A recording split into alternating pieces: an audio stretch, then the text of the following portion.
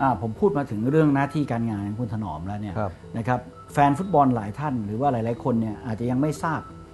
ประวัติที่มาที่ไปของคุณถนอม จนกระทั่งมาเป็นผู้ตัดสินชื่อดังของเมืองไทยเนี่ยนะครับ ต้องให้เล่าประวัตินิดหนึ่งว่าถนอมบริคุตเปาหนอมมาจากไหนอย่างไร ครับครับอ่าชีวิตของผมนี่ก็คือมันก็ผกผันนะอืมจากเอ่อเริ่มชีวิตรับราชการก็เป็นทหารนะฮะทหารค รับรับราชการที่ทหารพลล่มปลาหวายนะฮะลบบุรีครับลบบุครัรีบก็ในช่วงที่เป็นทหารนี่ก็เราก็ได้ไปเรียนอืมเรียนรัชพัฒนะฮะฮะแต่ก่อนเป็น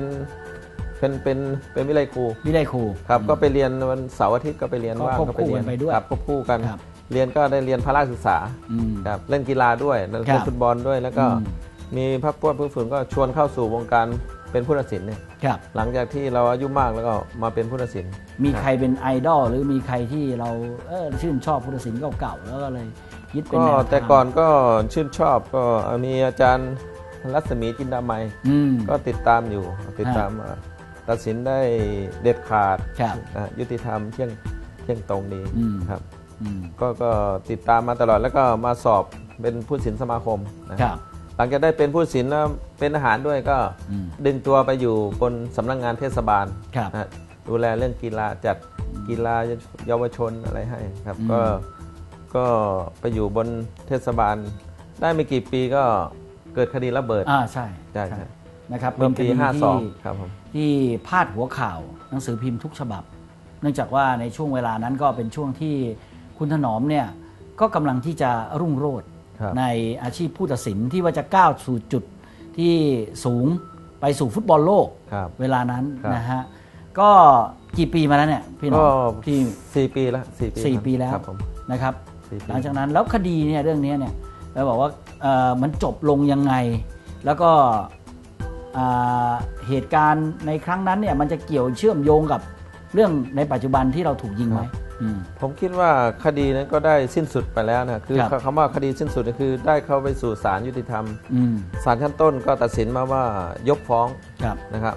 แล้วทางอายการก็ยื่นอุทธรณ์อืมถึงศาลอุทธรณ์ก็ยืนตามศาลชั้นต้นก็คืออมยกฟ้องนะครับอืมก็ได้สิ้นสุดที่ศาลอุทธรณ์ตกลงติดคุกอยู่นานไหมก็ติดอยู่ประมาณ20 21วัน 21 วันครับ 21 วันอืมแล้วก็ประกันตัวออกมาสู้คดีครับ ก็ทุกวันนี้เคลียร์เรียบร้อยแล้ว ครับเคลียร์เรียบร้อยมีหนังสือเอ่อบางคนนี่อาจจะว่าเอ้ยคดีจบหรือยังเนี่ยผครัมบมีหนังสือเนี่ยเป็นหนังสือรับรองจากศาลจังหวัดสระบุรีว่าอืมว่าคดีได้สิ้นสุดแล้ว เราคือผู้บริสุทธิ์ครับ ผู้บริสุทธิ์แล้วอืมที่จบที่แล้วถูกกล่าวหานะก็อืมจบจบครับ หลังจากที่เข้ามาทำหน้าที่เป็นผู้ตัดสินแล้วนี่อ่าจากวันนั้นถึงวันนี้นี่ประมาณเท่าไหร่ฮะเวลากี่เป็นเวลากี่ปีละก็อืมสิบกว่าปีครับสิบ ประมาณ เป็นเป็นผู้สินสมาคมก็ครับปี38อืมนะครับ นี่ก็ประมาณ 10 15 16 ปีนะก็เยอะพอสมควรครับนะ ครับ นะครับในการทำหน้าที่ในแต่ละนัดแต่ละเกมเนี่ยคิดว่าสไตล์ของคุณถนอมบริคุตในการทำหน้าที่อะให้ประเมินสไตล์ตัวเองว่าเป็นยังไงทำหน้าที่ยังไงผม ผู้ตัดสินแต่ละคนก็มีสไตล์การครับ เป่าที่แตกครับต่างกันนะผมคิดว่าสไตล์ผมคือสไตล์ที่ตัดสินที่ดุดันอืม ดุดันแล้วก็เราเราจะยึดเอ่อกติกา ยึดระเบียบการแข่งขันแบบโดยเข่งครัดไงเข่งครัดครับเกินไปหรือเปล่าไม่รู้อืมนะว่าเราคือทำหน้าที่ลงไปเมื่อไหร่ปุ๊บเนี่ยอืมทีมอาจจะไม่ชอบ หรือคนดูอาจจะไม่ชอบนะฮะแต่เราเราเราไม่ได้สนใจว่าเขาจะชอบเราไม่ชอบนะอืมเราตัดสินตามกติกาตามระเบียบการแข่งขันครับ นะแต่ว่าใครที่จะได้ประโยชน์หรือไม่ได้ประโยชน์เราเราไม่ได้เราไม่ได้ใส่ใจตรงนั้นอยู่แล้วอืมครับผม แต่ว่าฟุตบอลในยุคนี้เนี่ยพอมันเกิดการแข่งขันมากขึ้นครับ มันกลับกลายเป็นว่าไอการเป่าในสไตล์ตรงฉิน หรือว่าเป่าแบบผิดเป็นผิดถูกเป็นถูกอะไรอย่างเงี้ยนะครับมันไม่โดนใจคนทำทีมไม่โดนใจแฟนฟุตบอลนะครับจนถึงขั้นที่เรียกว่าในแต่ละเกมเนี่ยมันกลายเป็นภาพลักษณ์ของคุณถนอม กลายเป็นภาพลักษณ์เป็นว่า บางทีแฟนบอลทั้งสองข้าง ที่ดูเนี่ยไปคิดว่าคุณถนอมทำหน้าที่เป่าเอื้อให้อีกข้างหนึ่งครับส่วนครับอีกฝั่งหนึ่งก็ยังคิดว่าคือทั้งสองฝั่งก็ไม่มีใครครับชอบคุณถนอมเลยครับผมอ่าครับคิดเห็นกับเรื่องนี้ยังไงครับ ผมคิดว่าผมเป็นผู้ตัดสินในนามเอ่อที่ไปตัดสินนี่คือในนามของของสมาคมอืมเป็นคนส่งลงไป เป็นคนจัดลงไปใช่ไหมครับ แล้วเราก็ทำหน้าที่ให้ให้ดีที่สุดนะครับอืมโดยที่เราไม่คำนึงว่าทีมนี้จะเป็นใครเป็นอะไรเพราะว่า ทีมณปัจจุบันในยทีมนี่คุณสมัครเข้ามาอืมนะสมัครเข้ามาร่วมการแข่งขันนะไทยครับลีกก็ดีครับดิวิชั่นหนึ่งดิวิชั่นสองสมัครเข้ามาอืมเขาไม่ได้บังคับ คุณเข้ามาร่วมอืมการแข่งขันฮะแล้วผมก็ไม่มีใครมาบังคับ ผมมาตัดสินอ่าผมผมไม่ไม่สนใจว่าทีมนี่คุณจะพอใจหรือไม่พอใจ เพราะณปัจจุบันเนี่ยเป็นการแข่งขันที่สูง เพราะอะไรหนึ่งก็คือเงินรางวัลสูง อืม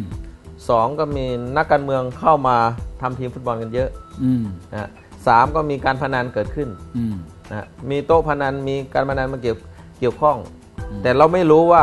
ใครจะได้ใครจะเสียเราไม่รู้ครับเพราะเขาอยู่ในมุมมืดเขาจะเล่นเขาไม่ได้มาบอกเราว่าเอ้ยวันนี้แทงเท่านี้นะผมเขาไม่ได้มาบอกเราอืมนะแล้วก็แฟนคลับเราก็ไม่รู้ว่าเขามีความรู้เรื่องกติกาหรือเปล่าอ่าบางคนก็เป็น hardcore จะ เอาแต่hardcore อย่างเดียว hardcore เชียร์แต่ทีมอืมตัวเองอย่างเดียวอืมไม่สนใจเรื่องอื่นอันเนี้ยอืมเราเราเราก็ตัดสินตามที่เราเห็นแค่นั้นครับ เคยรู้สึกท้อแท้บ้างไหมเวลาคือผมขนาดผมเป็นผู้สื่อข่าวบางทีผมไปนั่งดูฟุตบอล ตั้งแต่หนุ่มมาจนกระทั่งอายุขนาดนี้นะฮะหลายสนามนะใช้ว่าหลายสนามด่าผู้ตัดสินอย่างเดียว เริ่มตั้งแต่เป่าตั้งแต่นาทีแรกอะยันนาทีสุดท้ายอะไม่รู้ว่าเหมือนคนอื่นมาผมอาจจะแปลกจากคนอื่นนะแต่ว่าอืมในชีวิตผมไม่เคยท้อในเรื่องของการตัดสินครับในตรงนี้นะว่าเราได้มาทำหน้าที่ในสิ่งที่เรารักอืมนะได้ออกกำลังกายได้ทำงานที่เราชอบอืมนะครับแล้วมีรายได้ด้วยครับมีรายได้ด้วยนะได้ออกกำลังกายนะได้คิดว่าเขาด่านั่นแหละคนที่ด่าก็คือน่าจะเป็นแบบว่ามันก็เป็นสิ่งดีๆนะอาจจะเป็นกระจกส่องให้เราหรือหรือเปล่านะครับอืม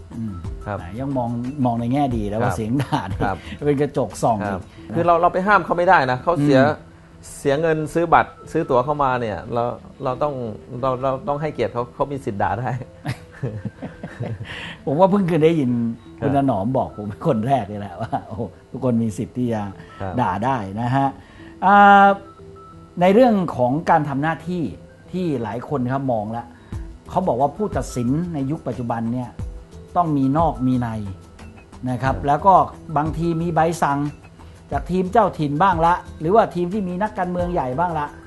เหตุการณ์แบบนี้มันมีในเมืองไทยหรือเปล่า เหตุการณ์แบบลักษณะผมนี้โดยโดยส่วนตัวผมนะผมคิดว่า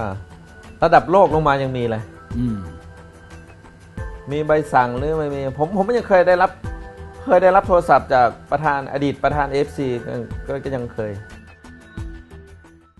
การติดต่อให้รับสินบนของผู้ตัดสินเนี่ยมีหรือเปล่าถึงขั้นที่ว่านำผู้ตัดสินไปจับเข้าเครื่องจับเท็จกันเลย